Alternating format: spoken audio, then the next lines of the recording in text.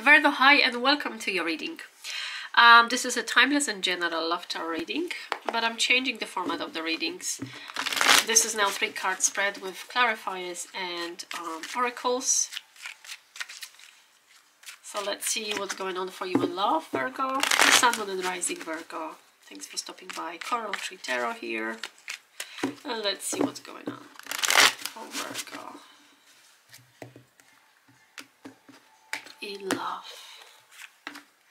We've got Wheel of Fortune. So there is some humongous change that's happening for you. Ace of Pentacles, the Lovers, and Ten of Swords. It's a general energy. Okay. This is a um, sort of end of waiting for something. Something has started in the past. Um, and I have a feeling that the waiting, there is some sort of waiting here. I don't know why I'm hearing waiting. Why is the Ten of Swords here? This is this is over. We've got both tens. We've got 10 here and 10 of swords. And we have the lovers in the position of the future. So um, I think if you have been waiting for your person to like formally um, ask you to marry them or formally could be anything. Um, ask you to move in together ask you to be in an exclusive relationship because the ace of pentacles in the position of the past.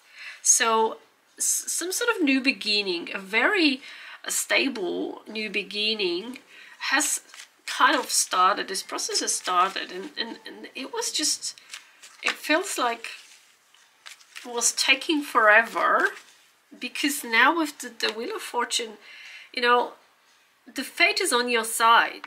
The, the wheel is turning for you now. Look what you've got in here in the future. It's a fated relationship, fated connection. I need to figure out what the Ten of Swords is. For me, for some reason, I'm waiting. I'm hearing waiting. The wait is over. The Ten of Swords. Why is the Ten of Swords here? There you go. You see it took someone forever to come and um, express their feelings um, ask you to move in ask you to be in an exclusive relationship etc we have knight of cups clarifying um, this ten of swords. Someone just felt like this is never gonna happen. You must have felt like this. Um, because this offer was like this this ace of pentacles is is in the past. So there was some sort of conversation there was some sort of opportunity but it wasn't coming sort of like it wasn't progressing and now there is a change. This beautiful wheel this person is finally coming along into your life expressing their feelings again apply to your situation. So depending on the on the um, depending on where you are at in your relationship Virgo this is either whatever I mentioned. Let's make our relationship exclusive. This is that next phase and look what's in the future. Um, remember the lovers definitely talks about relationship but the you know this there could be lessons there are always lessons uh, attached to to um, significant love relationship because that's what we are meant to do. We're meant to learn and grow here on earth uh, together. Gemini, Taurus, Aquarius, Scorpio, Leo. Beautiful. But then, yeah, someone has felt like this is never gonna happen. Okay, so if you're here inquiring about someone specific, this person is coming for you, that's for sure. That's why I'm hearing the wait is over. This is weird. Um, okay, I am going to pull some oracles. Short and sweet. I mean, Virgo. I keep my feelings bottled up. Please don't. Okay, maybe that's why it's been taking forever. We all need time. Let's see one for Virgo. Hurt pride, okay.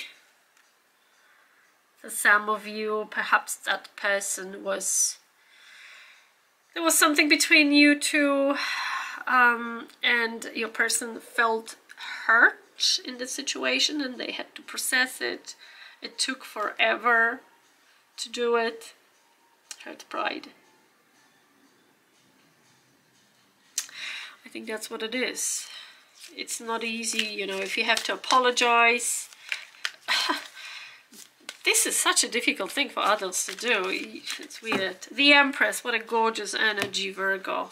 This is expansion, growth, um, fertility, sensuality, but Empress is an abundance, growth, expansion. So it really confirms that this wheel is turning for you at the moment in your favor. Things are going to progress finally. They have been like, it's never going to happen, but it is. It is happening. It is happening now because this is in a position of present.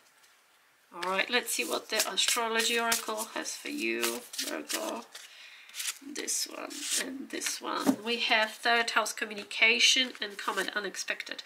Um, this is Gemini as well. The third house in a natal chart uh, governs communication. So I do believe that um, this somehow is related to this situation. There was difficulty in um, expressing uh, what they what someone wants. Communication was probably not an easy aspect in this connection or with this particular person. Um, it says communication style, thoughts, interests, communication. That was the issue. We've got comet, unexpected.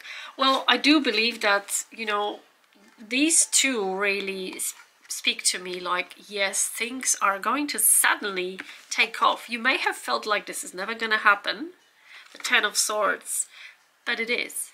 And that's why uh, we've got this oracle unexpected because i feel like you may have not really um, thought that this is ever going to happen. And yet look we are going to have progress here in this situation between you and this person, Virgo. Thank you for your time. Thank you for watching. If you enjoyed this reading, don't forget to like and subscribe. Um, and I'll speak to you soon. Goodbye for now.